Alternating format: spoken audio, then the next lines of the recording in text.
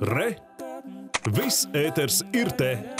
Ir tā, bet pavisam noteikti turpinājumā kino jaunumi, jo jau šodien savu Latvijas pirmizrādi piedzīvos režisora Dāvis Īmaņa vēsturiskais trilleris Gads pirms kara, kas eh, kļuva par apbalvotāko lielā Kristapa filmu šogad saņemot astoņas balvas. Jā, un šorīt tad uz sarunu arī esam aicinājuši Dāvis Īmani un mākslinieci Kristīnu Jurjāni. Labrīt! Labrīt. Labrīt! Paldies, ka esat šorīt pievienojušies mums. Eh, Protams, sekojot līdz notikumiem Ukrainā, nu vai nav tā, ka šī filma kļūst par vēl nozīmīgāku skatītājiem ar vēl tādu spēcīgāku vēstījumu, kam tiešām šobrīd pievērst uzmanību? E, Nu, jā, varbūt pat e, savā ziņā priekš filmas veidotājiem tas ir tāds ne pats pozitīvākais, e, pa- pati pozitīvākā atklāsme, ņemot vērā, ka filma jau tomēr bija iecerēta vairāk kā tāds atgādinājums, brīdinājums, varbūt no, no ņemt vērā vēstures, vēsturi, pagātni, skatīties uz to kā tādu kaut kādu veidu pieredzi, kurai nevajadzētu sekot. Un tagad pēkšņi tas lielākā daļa no tā, ko mēs filmā redzam, kļūst par kaut kādu tādu realitāti, kas, eh, kas tādā viskaudrākajā, visdramatiskākajā veidā ir šobrīd uh, redzama Ukrainā, no kuras mēs saņemam attēlus, saņemam ziņas. Un tas, protams, ir tāds, tāds, tāda skumja atklāsme, bet no otras puses, atkal, nu, varbūt tas tieši šo, šo filmu arī padara par tādu, nu, uh, nu, varbūt kaut kādā citā veidā nozīmīgu šobrīd uh, priekšskatītājiem. Mēs šorīt arī runājām, ka par to filmu ir tik daudz runāts, ka pilnīgi šķiet neticami, ka Latvijā viņa vēl nav, vēl nav rādīta. Beidzot, tas brīdis eh, tūlīt, tūlīt būs klāt, bet tieši tāpēc es arī nekautrēšos vēlreiz jums lūgt atgādināt skatītājiem, ieskicēt to pamatstāstu, eh, kas norisinās filmā, kā, kādi varoņi tur eh, mums šo, šo vēstures stāstu. Um, filma ir uh, tādā ļoti aptuvenā veidā balstīta uz, uz latviešu uh, teroristu un tāda ļoti odiozas personības Pētera Maldera, uh, kurš uh, pirms Pirmā pasaules kara nu, veica dažādu veidu noziegumus visapkārt Eiropai un, un īstenībā pazuda kaut kādā brīdī pazuda uh, no, no uh, teikt, mūsu radariem. Mēs vēsturiski nevaram vairs pateikt, kas ar viņu noticis. Līdz ar to filmu atļāvās tādu brīvu interpretāciju par viņu kaut kādu ceļojumu. 1913. gadā cauri Eiropai kaut kādā veidā transformēties no tāda vienkārša, parasta uh, ikdienas cilvēka, kļūstot par savu veidu nu, tādu ar ļaunumu apmātu, it, it kā ideālistu, un tomēr, tomēr cilvēku, kurš īstenībā beidz savu dzīvi vai, vai, vai kļūst par kaut ko, kas, kas nav vērtējams ar pluszīmi. Un, un tas uh, ir šī stāsta pamatā, bet nu, vienlaikus, uh, ņemot vērā, ka filma vienlaikus ir tāda traģisks stāsts, bet vienlaikus arī nu, šis vēsturiskais thrillers. eh, Tad, eh, protams, eh, nu, tur ir ļoti daudz dažādi mm, kā, kā saka, piedzīvojumi, eh, krimināla situācijas, un, un, un tā, tā vairāk ir tāda patiešām tāds fantasmagorisks ceļojums cauri Eiropai tieši pirms Pirmā pasaules kara, kas beig beigās noved pie tā, ka šis karš sākās. Jā, mēs jau minējām, šī uh, filma saņēmusi astoņas lielākas Kristapa balvas. Arī starptautiskos konkursos, uh, kinofestivālos ir startējusi. Un arī jums, Kristīna, balva kā labākajai māksliniecei šīs filmas sakrā. Kā jūs teiktu, kas ir tā panākuma atslēga vai panākumu atslēgas, kas tad ļauj šai filmai nu, dzīvot tādu veiksmīgu dzīvi? Un, uh, nu, kā jūs teiktu, jā, kas tas ir? Nu, es nezinu, vispār šī bija reize, kad režisors man solīja, ka beidzot mēs strādāsim pie komēdijas. Un, eh, nu, tad eh, kaut kādā veidā mēs arī mēģinājām to veidot kā tādu grotesku komēdiju. Uh, arī caur tēliem un caur visām detaļām, kas tiek atrādītas, tā tomēr ir groteska. Tā nav realitāte. Tas nav nekas tāds, ko tu varētu satikt uh, dzīvē.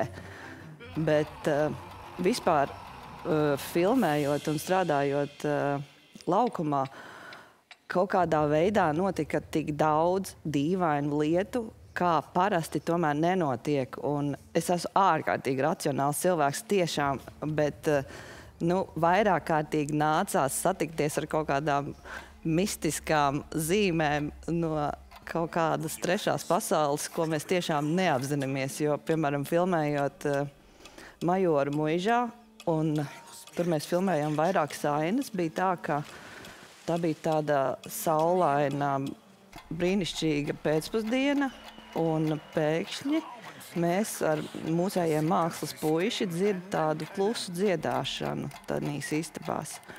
Un mēs to ier, viņi, ieraksta, viņi to ieraksta aiznes uh, uz skaņu studiju un izrādās, ka tur dzied uh, krieviski šūpuļdziesmu bērniņiem. Jo bija, un, un, iz, un pēc tam atklājās, ka tajā majora mūžā ir bija, bija bērnu nams. Un tas viss kaut kā ir ienācis arī tajā mūsu filmas atmosfērā. Kaut kādas tādas dīvainas nojausmas, kaut kādi nepasacīti, nepasacīts līdz galam lietas. Nu, Tiešām, nu, un tad, kad, piemēram, Zvārtavas mūžā bija zvaru, garu izsaukšana, tad sākās ārprātīgs pērkons, sākās tāds negaiss, kā vispār, man liekas, Latvijā reti, kad notiek. Visa tā zvārtava ārdījās kaut kādos šausmīgos uh, melnos un, un, un baltos zibeņos, un mēs tur filmējām. Pilnīgi skudriņas skrien Tas ir interesanti dzirdēt Tas- šādu stāstu, jo tas jau skatītājiem vienmēr, nu, vienmēr paliek. Es kādu to jau nekad neieliks. eh, Nē, nu, to, ne, to, tā- ne to dīvainību, ne to emociju neieliks. Bet nu, vienkārši es tiešām nekam tādam neticu. Nekad dzīvē. Bet, un redz, ko tas viss ir rezultējies. Bet kā jums šodien pašiem uh, ir tāds satraukums? Nav tā, ka Latvijas skatītājs varētu būt nu, krietni prasīgāks, tagad tur balvas starptautiskajos kinofestivālos. Vai ar lielām gaidām? Jā, satraukuma nav. Nē, nu, protams, ka, ka vienmēr nav labi, kad pārāk kāds kaut kas ir jau tā kā ar, ar lielām expectācijām sagaidāms, tad beigās ir tā vilšanās.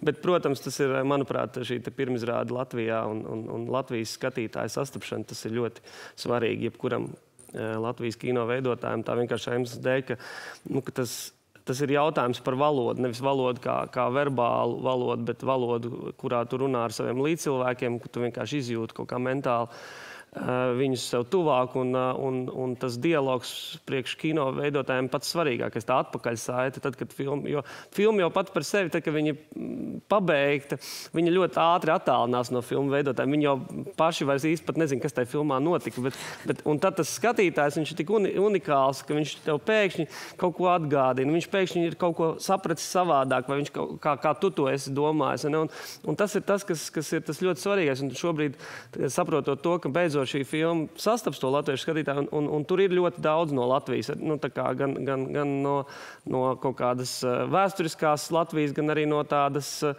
nu, tā- ir latviešu filma, latviešu aktieriem un, un, un, un, un, un ar latviešu filmēšanas grupu. Un tas, tas tomēr, eh, nu, tā atpakaļ saita, viņi nav nomainām ar nevienu citu pieredzi, ko tu gūsti pēc filmas izrādīšanas, pieņemsim, ārzemju festivālus vai kur citur. Karina, labi, ka tu pajautāji režisoram par to stāstu. Atcerās, un pastāstīji arī. Mums nav tā, ka tā filma ar nofilmēšanas beigām ir jau tā kā attālinātais.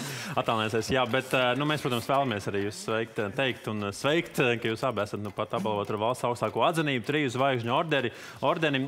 Kristīna pāris labu vārdu īpašību par dāvi un dāvi labu pāris īpašību par Kristīnu. Kas ir tas, kas viens otra darbā ir tas, kas noteikti ir eh, atzinības vērts? Ne, man šķiet, ka vispār māksliniekam jābūt ārkārtīgi jūtīgam un uh, kaut kā, un dāvim tas piemīt. Man šķiet, uh, jūtīgums un tā sāsinātā pasaules uztvere un uh, ārprātīga interese par vēsturi, kas, uh, kas ir ārkārtīgi simpātiska. Nu, man, man ir eh, nenormāli paveicies. Man ir divi cilvēki, ar kuriem es varu iet eh, partizānos. Eh, Tas ir, tā ir Kristīne un tas ir man, mūsu kopīgais draugs un operators Andrejs Rudzāts. Un, un, un, eh, un Kristīna pilnīgi noteikti līdzīgi Andrejam. Tā, tas pirmkārt tās ir eh, milzīgākās darbspējas. Eh, Tā ir eh, iztēle, kas ir savienota kopā ar milzīgākajām darbspējām, ar nenormālu precizitāti, ar brīžiem ar tādu jau pat pārsteidzošu, nu, ka Kristīna dažreiz kadrā ir koplāns, vai ne, un mēs nekad neieraudzīsim kabatas lakatiņu, kas ir varonim kabatā, bet tam kabatas lakatiņam jābūt no 1905. gada, jo savādāk nu, tas, tas va- varonis nejutīsies tā, kā viņš būtu tajā vēsturiskajā Galvenais situācijā. apakšbiks. Nu, jā, apakšbiks ļoti svarīgs. Jā, un, un, un no tā veidā Kristīnas tā, tā apsēstība vispozitīvākajā nozīmē ar, ar detaļām, ar, ar vēsturisko precizitāti un patiešām tāda nu, visjaudīgākā iztēle attiecībā uz to, kā, kā mēs to, to vizuāli varam ieraudzīt. Un, uh, un savienojumā ar Andreju spēju to visu vēl kaut kā piefiksēt. Nu, man jau kā režisoram tur arī vairs nav daudz ko izdarīt.